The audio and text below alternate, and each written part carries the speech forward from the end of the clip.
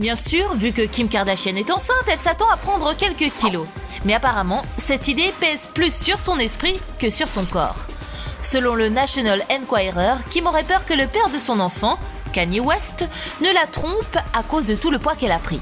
On a l'habitude de voir Kim et Kanye main dans la main en public, mais depuis sa grossesse, Kim a été vue plus souvent toute seule, et selon certains rapports, Kanye passerait plus de temps à se concentrer sur sa carrière. Le rappeur pourrait finir quelques-uns de ses projets avant que le bébé ne devienne sa priorité, mais Kim aurait peur que son apparente distance ne le fasse aller voir ailleurs, ce qui n'est pas bon pour son stress. Kim aurait mentionné son stress à Extra en disant qu'elle essaye de maintenir son niveau bas, mais ce n'est pas facile d'être enceinte et de jongler avec des événements promotionnels et son emploi du temps.